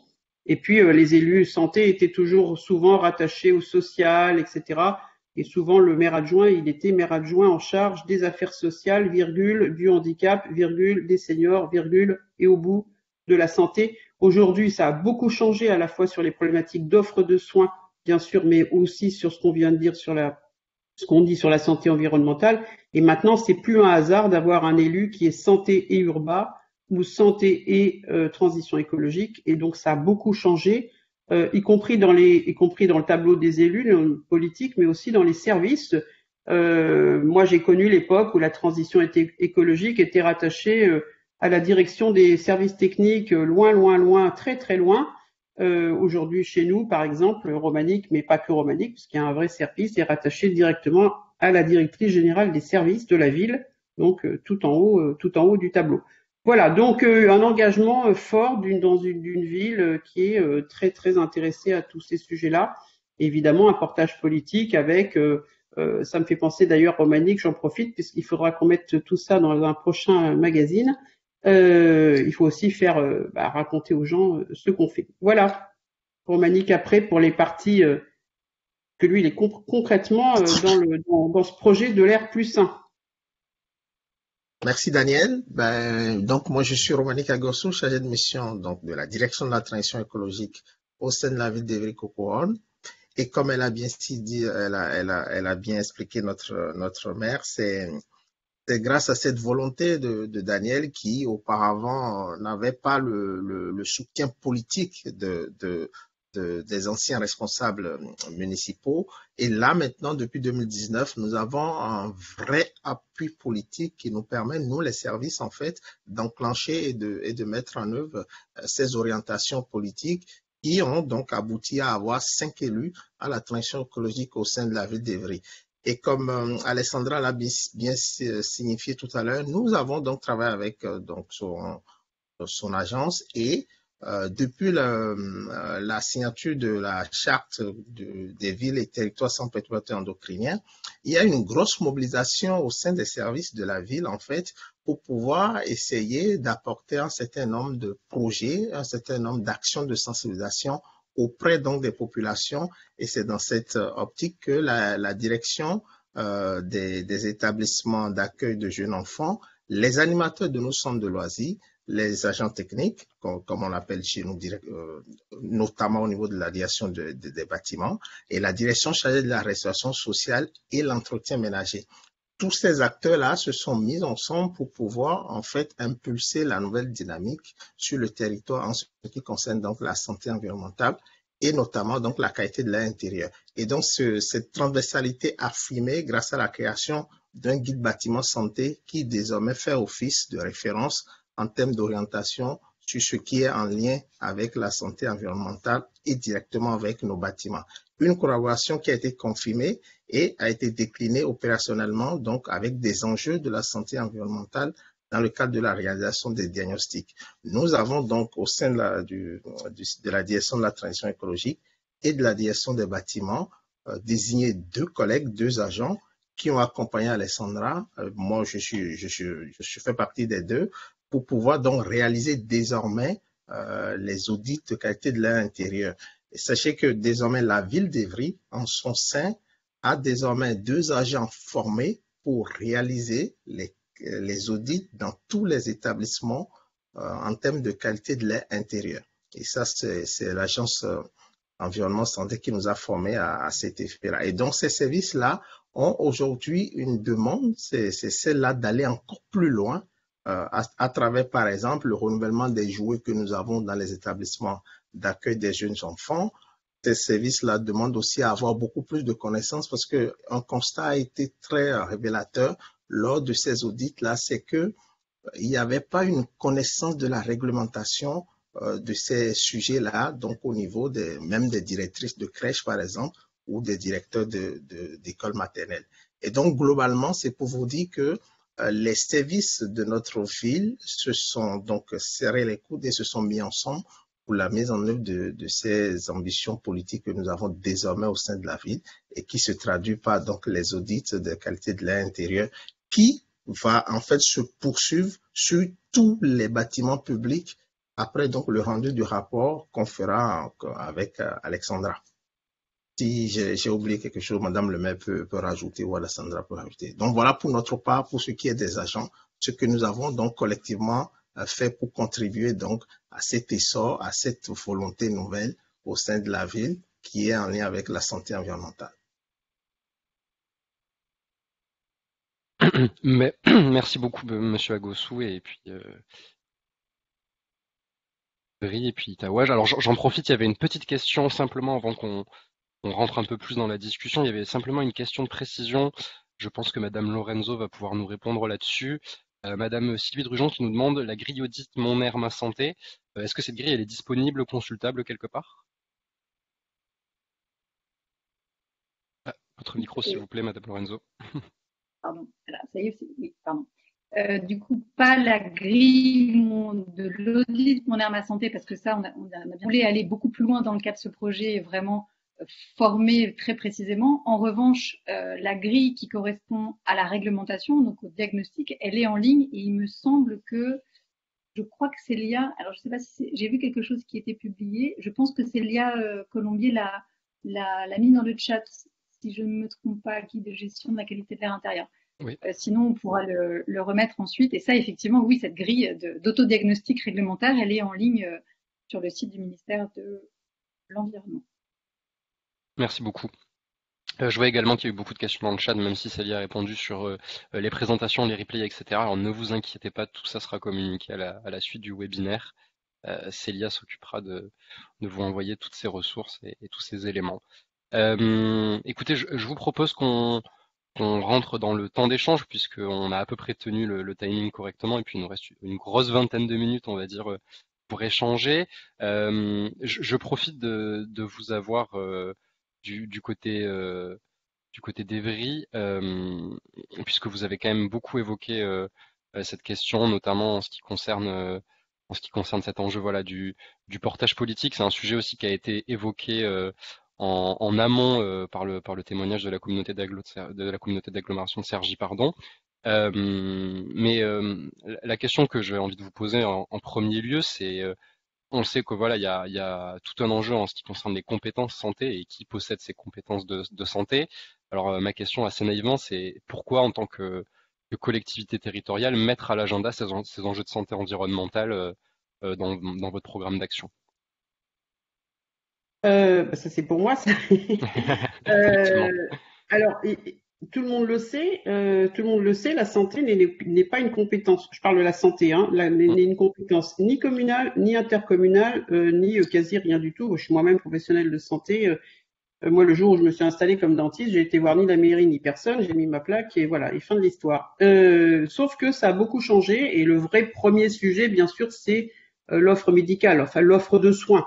Et dans une ville comme ça a été dit tout à l'heure par Sergi, et j'aurais exactement la même histoire euh, à Évry-Courcouronne, en plus, comme nous sommes des villes nouvelles, en fait, on a, cette particularité que la, ville étant construite entre 72, 13, 14, 15, etc., tous les médecins ou professionnels de santé, et j'en suis, et j'ai commencé à cette époque-là, ont euh, tous commencé à la même époque. Et donc, aujourd'hui, eh ben, les médecins et dentistes, je suis dentiste et, euh, autres, ben, ils s'en vont tous en même temps parce qu'ils sont tous arrivés en même temps. Donc moi, par exemple, en médecin généraliste, aujourd'hui, j'en ai 12, cette année, j'en ai 12 qui ont plus, plus de 65 ans. 12. Et j'en ai 22 qui ont plus de 60 ans. C'est lié à ce que je viens de dire juste avant. On n'est pas une ville ancienne qui a euh, un tissu. Donc ça, c'est le premier truc. Et donc, on est euh, sollicité toute la journée et à juste titre par les habitants euh, qui n'ont plus ci, qui n'ont plus d'orthophonie, etc. Et donc, on a beaucoup, beaucoup travaillé l'offre de soins. On a historiquement un centre municipal de santé qui date des années 80 avec beaucoup de professionnels de santé à l'intérieur. Donc la ville, elle met de l'argent sur une compétence qui n'est pas la sienne. La ville, elle gère un centre municipal de santé, elle investit dans une, elle construit une maison de santé, une MSP, euh, et elle met 3 millions d'euros sur la table pour le faire, et euh, etc., etc. Donc en fait, on va parce que c'est nécessaire, et parce que c'est la santé, c'est la préoccupation indépendamment du Covid, hein, préoccupation, euh, c'était alors évidemment avant, entre-temps il y a l'Ukraine, le gaz et le reste, mais euh, après le pouvoir d'achat, c'est quand même le premier sujet. Et en plus, la démographie médicale, elle n'est pas encore au pire. Le pire, c'est dans les cinq ans qui arrivent. Et après, ça remontera euh, juste un tout petit peu, mais pas beaucoup. Voilà, donc on est sollicité tout le temps, tout le temps par les habitants sur les problématiques de santé. Monsieur le maire, c'est nous, c'est tout le temps, par mail, par messenger, par fait, tout ce que vous voulez, on nous demande euh, des, des, coordonnées. Donc on est très investi sur la santé, la partie offre de soins, mais toute la partie prévention aussi. Euh, indépendamment de là, c'est Octobre Rose, mais pas que. Évidemment, on a deux ateliers santé-ville, on bosse beaucoup avec les maisons de quartier, les écoles, les infirmières scolaires, etc. Et, euh, et, comme on est une ville où la transition écologique est aussi euh, tout en haut du, tableau, ben voilà, le, le, c'est assez vite, assez vite lié. Et par exemple, moi qui suis en charge de la santé à l'aglo, c'est très récent qu'il y ait des élus santé dans les agglos, très récent, parce qu'en plus l'aglo, elle a zéro compétence, mais elle investit, elle construit quand même. C'est quand même un, sujet euh, surtout en ce moment où les collectivités locales n'ont pas, beaucoup de sous et avec l'inflation et tout le reste encore moins de sous, euh, c'est quand même un sujet d'exercer de, des compétences pour lesquelles on n'a absolument aucun argent. C'est-à-dire on ne touche absolument rien pour faire tout ça. Voilà. Mais en tout cas, une priorité politique euh, numéro un. Numéro un. Je, vous remercie. Peut-être euh, du côté de la communauté d'agglomération de Sergi-Pontoise, vous voulez peut-être abonder euh, dans ce sens-là ou apporter quelques éléments en complément, euh, Madame Catharino, Monsieur Denis?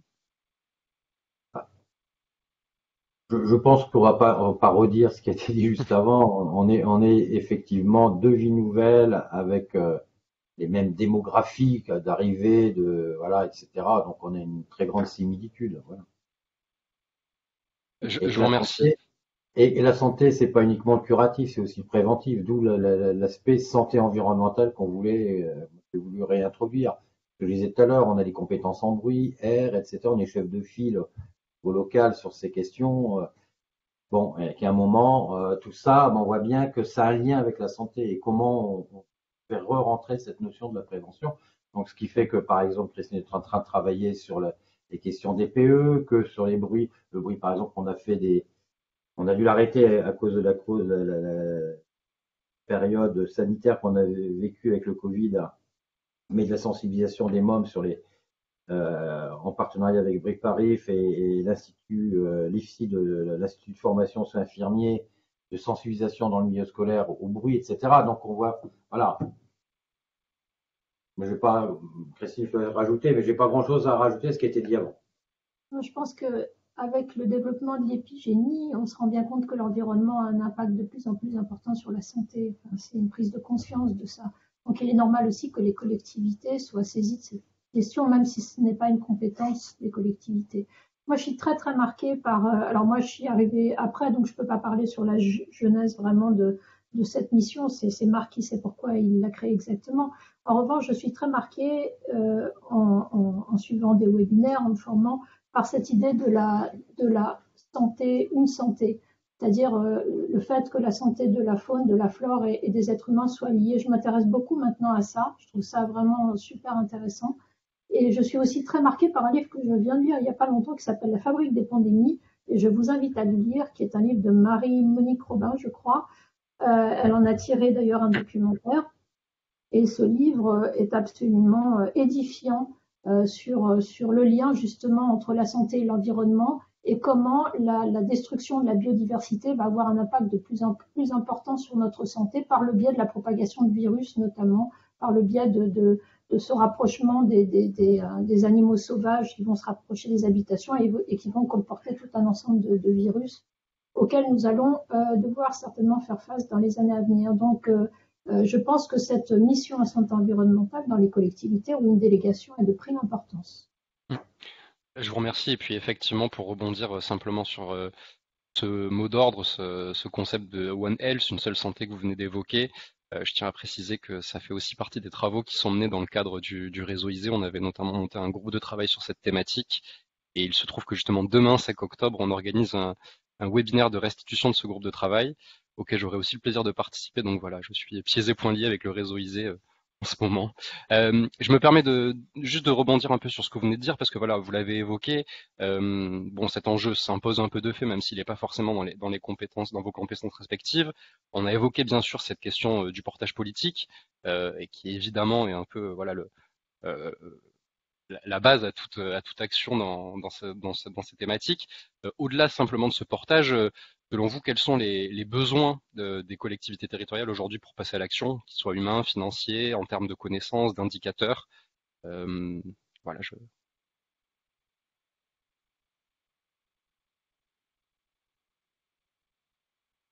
Vous, avez encore le micro coupé, excusez-moi. Allez-y, allez-y, madame.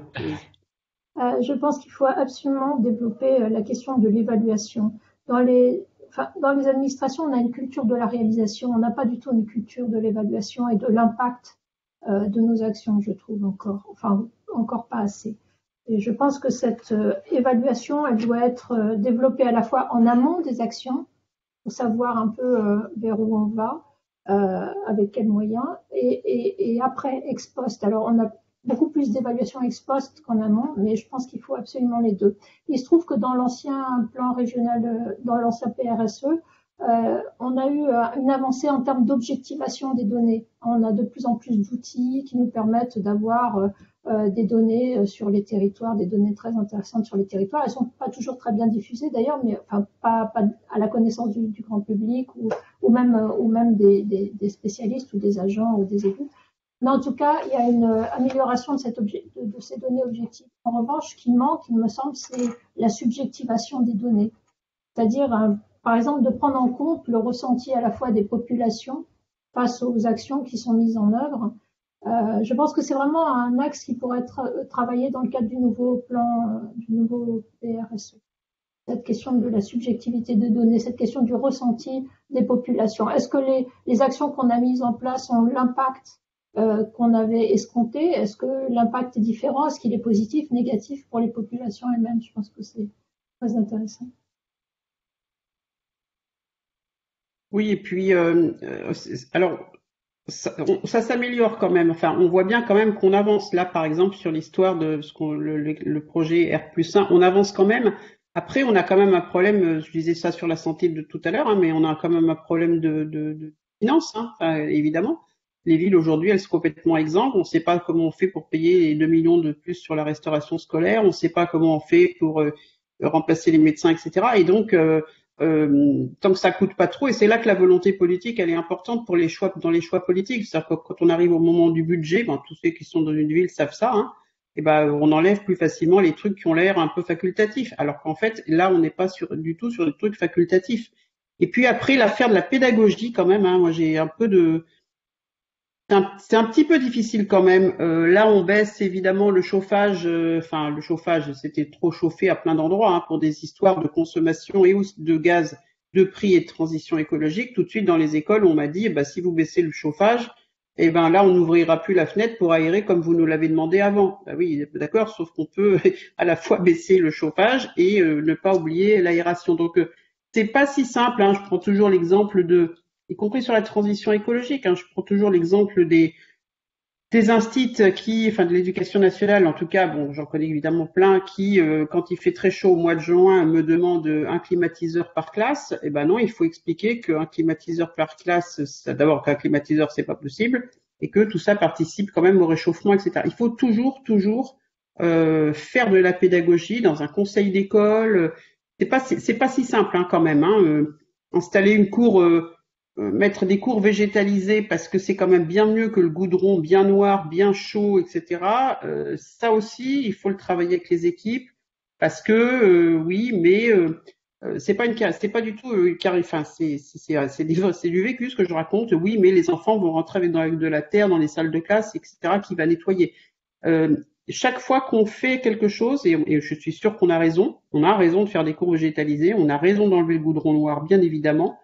Euh, mais à chaque fois, c'est beaucoup, beaucoup, beaucoup de travail de pédagogie avec les acteurs. On a eu pareil, hein, changer les produits et mettre des produits ménagers sans perturbateurs. Euh, il a fallu expliquer à tout le monde pourquoi, pourquoi on fait. encore une fois, pour l'intérêt général des, des enfants qui sont euh, qui sont qui sont dans les crèches ou, ou dans les écoles. C'est pas une partie qui peut sembler évident et pas du tout évident pour tout le monde. Donc, il faut beaucoup, beaucoup travailler. Tout à fait, oui. Sensibilisation, pédagogie, je retiens, ces notions. alors, je vais, me permettre de prendre quelques questions qui sont remontées également dans, le chat. Euh, vous donner la parole puisque c'était aussi le contrat que nous avions fixé au début de cette intervention. Alors simplement avant de revenir vers nos intervenants, une question peut-être un peu plus pour euh, Lola Chupin de la région euh, qui nous a été posée euh, concernant l'articulation et la prise en compte du futur du futur SDRIF de la région avec ce avec ce PRSE. Alors peut-être que Lola Chupin, vous pouvez nous en dire deux mots? Euh, bah, c'est vrai qu'en ce moment, il y a le SDRIF qui est, en élaboration, enfin qui est en phase finale, et euh, bah, il faut qu'on se plonge avec l'équipe projet euh, dans qu'est-ce qu'on pourra tirer de ce SDRIF et quel lien on pourra faire pour le PRSE 4. Donc c'est sûr que faut pas qu'on travaille en silo, il faut vraiment qu'on prenne en compte ces différents plans qui s'alimentent et comme la santé environnementale c'est vraiment transversal, on a bien ça en tête qu'il faut qu'on travaille avec les plans et les politiques publiques qui sont actuellement en cours d'élaboration. Donc oui, c'est vraiment des choses qu'on a en tête. Maintenant, euh, qu'est-ce qui va être pris du drift exactement et comment on va l'articuler, c'est toujours euh, en élaboration. On, y réfléchit, mais c'est quelque chose que on va y travailler. Merci beaucoup. Euh, j'ai deux questions, alors deux questions sur deux registres différents, mais, mais pour, pour Sergi. Alors, je ne sais pas qui, voudra se lancer, mais alors la première, c'est peut-être un peu plus de précision en ce qui concerne concrètement cette, cette charte. Euh, qui porte sur les projets de construction et d'aménagement public. Euh, comment faire pour que celle-ci puisse être concrètement respectée par les maîtres d'ouvrage privés?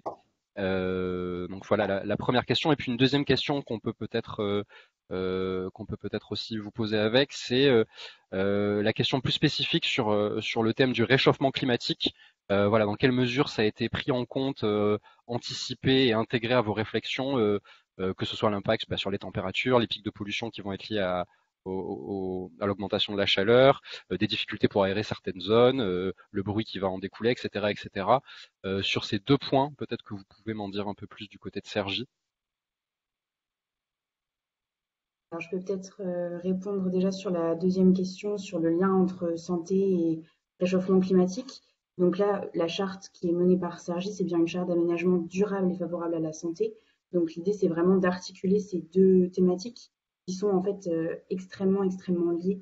Euh, en général, enfin, nous, c'est vraiment le, le message qu'on porte euh, chez Visea parce qu'on est spécialiste du développement durable et on travaille aussi sur la santé environnementale. mais en tout cas, voilà, les, les, enjeux, ces deux enjeux sont en général tout à fait liés. Par exemple, vous évoquiez là la question des, des pics de chaleur, des îlots de chaleur. Donc ça, c'est vraiment bah, généré par le réchauffement climatique, mais ça a un impact très très fort sur la santé des populations, en particulier des, populations vulnérables. Euh, donc en général, c'est deux thématiques qui sont euh, tout à fait liées et articulées. Euh, donc, et ce qui est assez intéressant, enfin nous, si je peux donner le retour d'expérience en tant que bureau d'études, c'est que finalement aborder ces enjeux-là au prisme de la santé, ça permet aussi de, comme l'évoquait la personne d'Evry-Courcouronne juste avant, ça permet aussi de faire plus de pédagogie. C'est-à-dire que on passe plus facilement les messages euh, quand on parle de santé et d'impact sur la santé des populations que quand on parle d'environnement, réchauffement climatique. Donc finalement, c'est deux enjeux totalement liés qui, en général, les conclusions se retrouvent, se rejoignent, euh, mais en tout cas, l'approche santé, c'est vraiment euh, très intéressant pour faire passer les messages et pour avancer et pour fédérer les acteurs autour de ces enjeux-là. Voilà, je ne sais pas si euh, Madame Catherine ou Monsieur Denis, vous souhaitez ajouter quelque chose sur cette thématique. Juste un petit complément sur ces questions euh, climat. Euh, quand on a lancé la révision de la charte, on avait ça en tête. On avait aussi lancé en parallèle, dans le cadre du PCAET, l'étude de vulnérabilité euh, du territoire, histoire de faire rendre conscience et d'impulser. Voilà. Ça, c'était il y a deux ans. Entre-temps, il est passé un été qui a beaucoup aidé. Et donc, je pense qu'il y a des choses aujourd'hui qui sont en train de rentrer encore un peu plus dans, la tête. Euh, sur l'articulation, euh, mais je laisserai Morgane y revenir dessus éventuellement. Euh, la charte, c'est un bout de, du travail de réflexion.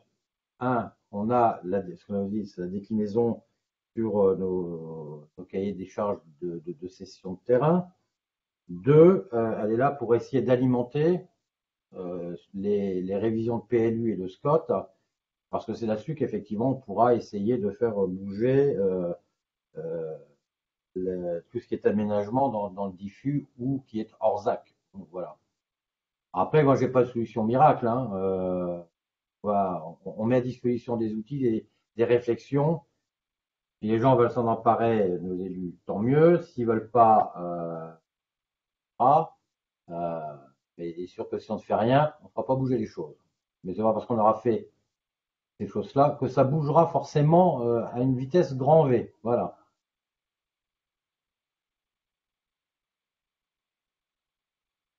Je vous remercie pour, euh, pour ces réponses. Alors, je... Si on avait des recettes miracles, ça serait magnifique, mais non. Effectivement. Euh, alors, petite euh, également question. Euh, on, peut, on peut rester, je pense, avec vous. Il y a une question qui nous a été posée, mais alors là, je, vais me permettre un peu de la, de la reformuler, mais sur comment transcrire en fait dans les règles d'urbanisme toutes ces recommandations, toutes ces orientations que vous pouvez avoir. Alors vous, vous avez pris le parti de, d'avoir une charte, euh, mais la question la portait plutôt sur les OAP. Alors peut-être que vous pouvez nous dire deux mots euh, sur euh, dans quelle mesure cette charte peut-être va s'articuler avec le PLU ou le PLUI, je sais, aux communautés d'agglo, donc j'imagine c'est un PLUI. Ah ben vous avez tout perdu, tout perdu. Raté. On est encore sur des PLU. Grand dommage, grand dommage. je ne sais pas d'ailleurs, Eric Couronne, où vous en êtes dans la réflexion, ça m'intéresserait. Euh, moi, je, je défendais d'avoir un PLUI parce qu'on a, on a des documents de, de, de, de, planification, que ce soit le PLH, que ce soit le PLD, que ce soit le etc. Tout ça est à la dimension de, l'interco, du, du, territoire Sergi-Pontin, et euh, nos élus ont, ont, ont, souhaité, malheureusement, on se rester sur des PLU. Voilà. C'est pareil chez nous, pareil. Voilà. Donc, mais on finira par y arriver, mais voilà. Alors, je ne sais plus, la question, c'était, oui, excusez-moi, ça c'était la digression au passage. non, non, je, je, vous demandais dans quelle mesure, euh, dans quelle mesure ben, le PLU pouvait vous permettre aussi de décliner ces, ces orientations ou, ou, ces enjeux. Ben, alors, premier élément, si on a décidé d'associer les communes, c'est aussi parce qu'on est sur cette logique encore aujourd'hui de, de, de partition, chacun son PLU. Euh, on l'aurait peut-être, on aurait certainement peut-être associé les communes, euh, même si on était sur un PLUI. Euh, mais là, c'est d'autant plus important pour qu'elles essaient de, au moment où elles sont en, train de rentrer dans les révisions de, leur PLU, qu'elles essaient d'intégrer les éléments de réflexion que l'on a et qu'on essaie de porter à travers, à travers la charte.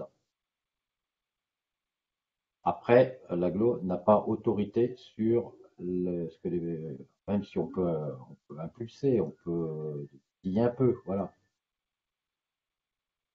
Mais on n'a pas autorité définitive sur les PLU de chacun. Là est un des éléments de limite de l'exercice. Je vous remercie. Euh, du côté d'Evry, j'ai vu que vous vouliez peut-être rebondir là-dessus. Non, euh, pas nécessairement. Non. Vraiment. Alors, je dis juste qu'on était euh, PLU, PLU, toujours PLU, exactement comme les communes. Euh, je vous remercie. Alors, euh, il nous reste encore un peu de temps pour faire passer quelques questions. Euh, bah alors, je vais essayer quand même de varier les plaisirs. J'ai encore une question sur la charte, mais j'y reviendrai un peu après. Peut-être une question plus pour pour Itawa Visea dans, dans votre posture, voilà, de de, bureau d'études, vous qui avez qui accompagnez des collectivités dans sur ce sujet d'intégration des enjeux de santé dans dans, leur, dans, leur, euh, dans leur politique, soit les documents cadres, comme on l'a pu le voir ici, ou d'autres types de politiques. Euh, Est-ce que vous notez des évolutions sur à la fois bah, l'appréhension du sujet, l'implication, euh, la volonté que vous pouvez constater chez les porteurs de projets, voilà, de, de, de plus en plus s'emparer de ces enjeux, de votre point de vue, vous, d'accompagnant, on va dire, sur ces, sur ces thématiques? Euh, oui, bah, je, peux, je peux rebondir là-dessus. Nous, déjà, rien que dans la mission euh, avec Sergi Pontoise, on a vu une évolution en fait euh, de cette euh, prise de position sur cet enjeu-là. Au début, on avait prévu, c'était une mission assez courte, sans intervention des communes, avec seulement un atelier. Et au fur et à mesure où en fait on a fait des réunions avec avec nos intervenants à, l'agglomération, ben, la, mission a pris de l'ampleur, donc on a impliqué les communes, le Sergi Pontoise a demandé à faire plus d'ateliers, euh, Sergi Pontoise a également demandé à avoir un temps en interne euh, en train de se finaliser pour vraiment s'approprier les questions de la, de la, charte de la santé environnementale. Euh, donc finalement, c'est, je pense, enfin, je ne sais pas de votre côté si vous l'avez ressenti comme ça, mais en tout cas, nous, de notre côté, on a eu l'impression que c'était, euh, enfin, que la mayonnaise montait et qu'il y avait une, une, une appropriation de plus en plus forte de ces enjeux. Et du coup, c'est hyper positif. Enfin, nous, on trouve ça vraiment euh, hyper chouette et on a bon espoir que, que cette charte-là, elle ait un vrai impact euh, sur, euh, et que ça constitue une vraie identité pour, pour le territoire. Je ne sais pas si Alexandra Lorenzo, vous avez quelques éléments là-dessus aussi. Oui, bah, rapidement, on remarque déjà de, sur les dernières années qu'il y a plus ça va et plus et moins le travail est difficile quand on aborde ces sujets-là. Euh, il y a, voilà, on vient de passer un été euh, avec beaucoup de, on a beaucoup parlé du réchauffement climatique, on a passé la phase du Covid, même si effectivement Daniel disait qu'on n'était pas sorti, mais malgré tout, en tout cas le plus gros. enfin, il y a différentes choses qui font dans la société que finalement, euh, il y a une prise de conscience qui est de plus en plus importante. Il y a aussi tout le travail qui est fait sur les perturbateurs endocriniens, notamment toutes les villes, il y a plus de 250 villes et territoires en France qui ont signé la charte des villes et territoires sans perturbateurs endocriniens du réseau environnement santé. Beaucoup, beaucoup, beaucoup de choses, plus tout ce, que, ce qui est fait euh, euh, au niveau local, etc., et qui, nous facilite le travail. Euh, ensuite, bah, évidemment, il y, a, une difficulté qui reste importante pour nous, c'est cette question de la transversalité du sujet. Et effectivement, il y a encore très peu, notamment de collectivités, euh, dans lesquelles il y a un élu ou plusieurs élus ou un service santé-environnement. il suffit de voir, voilà, pour l'instant, on a un ministère de la Santé et un ministère de l'Environnement. Donc, euh, ça, se, répercute aussi euh, euh, finalement dans l'organisation sur, le territoire. mais en tous les cas, voilà, nous, c'est pour ça qu'on travaille toujours, on commence toujours par de la sensibilisation avant d'entrer dans le vif du sujet.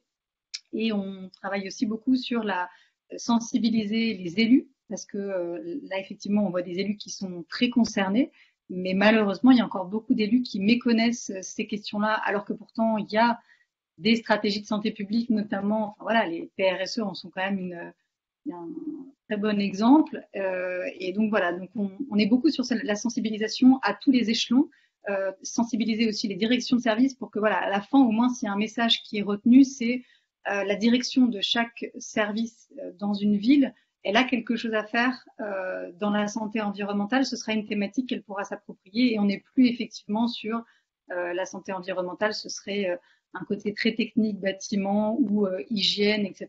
Non, ça concerne euh, l'ensemble des services et c'est à prendre en compte comme une, une paire de lunettes supplémentaires pour, pour envisager le, travail au quotidien.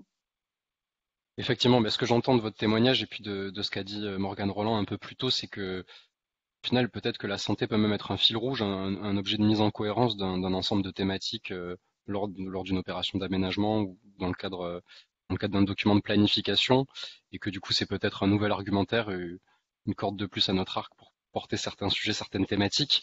Alors je vois que plus on approche de l'échéance de, la table ronde, plus les gens sont inspirés au niveau des questions. Je vais essayer de d'en faire passer certaines avant qu'on arrive la fin du temps. Alors j'ai une autre question sur la charte très opérationnelle, très pratique, euh, qui nous vient de la ville de Melun.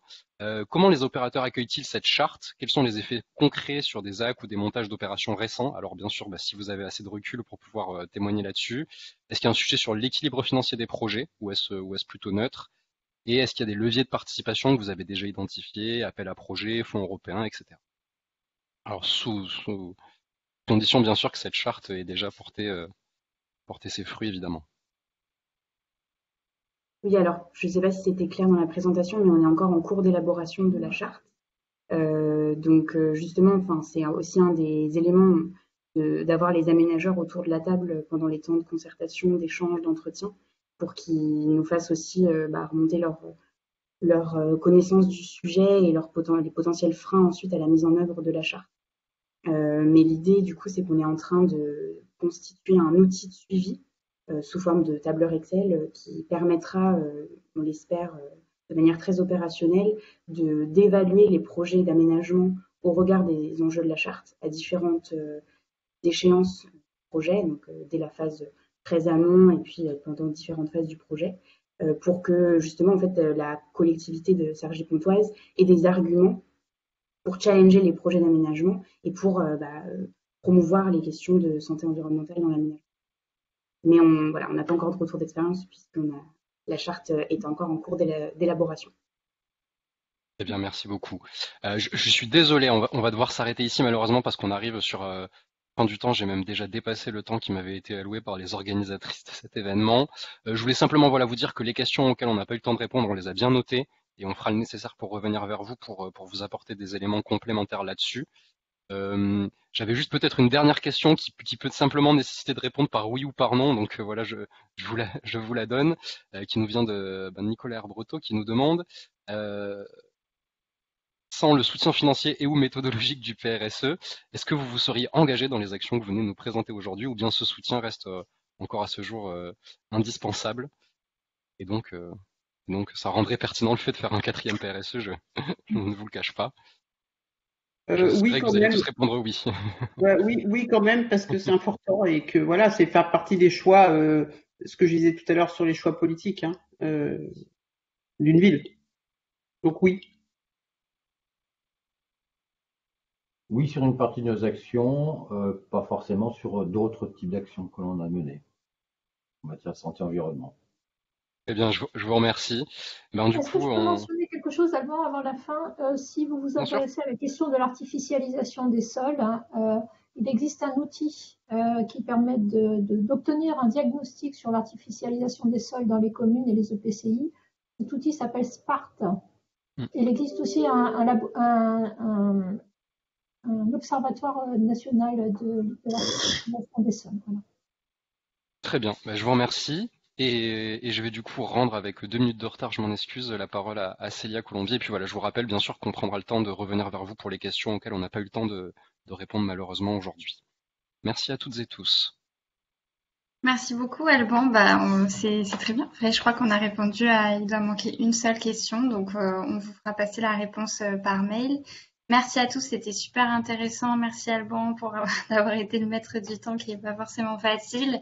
Et puis merci aux organisateurs, euh, Lola en, premier lieu et Pascal Gorge.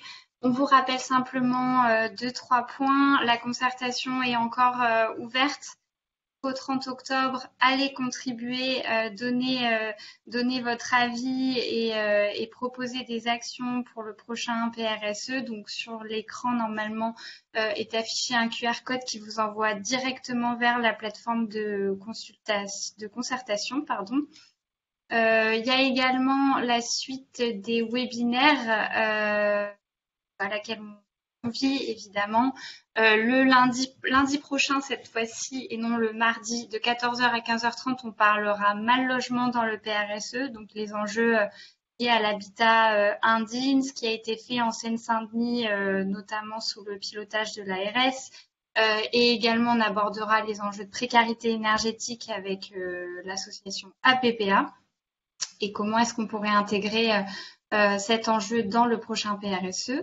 Et puis lundi 17 octobre, une semaine après, euh, de 17h à 18h30, là on parlera de l'éducation des jeunes à la santé environnementale euh, et notamment euh, de l'implication de l'éducation nationale et de partenaires associatifs le sujet en présentant des actions du PRSE 3 et en imaginant euh, et en discutant de, perspectives pour le prochain PRSE 4. Euh, je vous rappelle aussi que pour les acteurs franciliens, le réseau vous est grand ouvert. Euh, qu'on essaie de vous apporter un maximum d'outils pour monter en compétences et aussi pour, pour échanger les uns avec les autres et, et, diversifier les collaborations. Donc n'hésitez pas si vous êtes intéressé à revenir vers moi. Euh, et enfin, est-ce que j'ai tout dit? Oui, non, je n'ai pas tout dit. Je laisserai Lola déjà donner euh, le mot de la fin, mais simplement pour vous dire qu'en quittant le, le, le, webinaire, vous allez voir apparaître à votre écran un questionnaire de satisfaction. Vraiment, répondez-y, ça nous permet d'améliorer euh, nos événements. Donc, merci, merci beaucoup.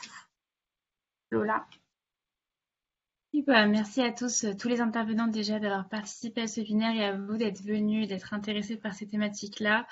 Euh, je suppose qu'il y a beaucoup de collectivités territoriales qui ont participé. Donc, euh, comme la remarque de Marc Denis l'a dit, il y a, le PRSE4 est un outil et des fois, il n'a pas forcément apporté tous les financements ou toutes les thématiques sur lesquelles vous pouvez agir dans, en santé environnementale. Donc, le but pour le PRSE4, c'est vraiment grâce à vos contributions que vous pouvez faire sur la plateforme qu'on essaye de brasser large et d'avoir tout ce que vous avez envie. Enfin, en tout cas, d'avoir tous euh, vos avis euh, et tout ce que vous avez pu remarquer euh, sur le terrain pour que le PRSE4 soit vraiment un outil pour vous, pour développer des politiques publiques à votre échelle sur les territoires.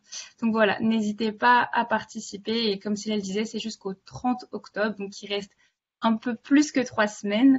Donc voilà, on attend vos nombreuses contributions. Merci beaucoup en tout cas, très bonne fin de journée.